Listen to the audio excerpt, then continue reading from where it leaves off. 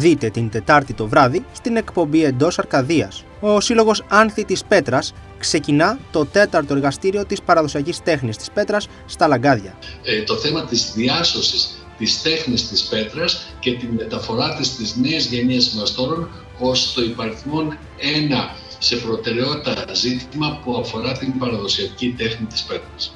Η Ολυμπιακή Μηχανοκίνητη Περιήγηση στον δρόμο που χάραξε ο Κολοκοτρώνης ολοκληρώθηκε και άφησε τις καλύτερες εντυπώσεις. Θέλαμε να ε, δώσουμε και εμείς οι ίδιοι, να αποτείνουμε τιμή στο Μεγάλο Θόδωρο Κολοκοτρώνη και όλο αυτό δεν θα μπορούσε να γίνει πουθενά αλλού ε, πέραν της Τρίπολης, της ε, Μεγάλης Τριπολιτσάς.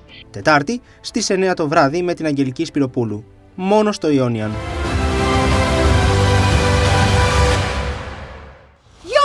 Γιώργη, πού είσαι, σε ψάχνω! Εδώ είμαι, τι θες, τι έπαγε. Έπιασε φωτιά! Πού; Το σπίτι σου! Α, καλά.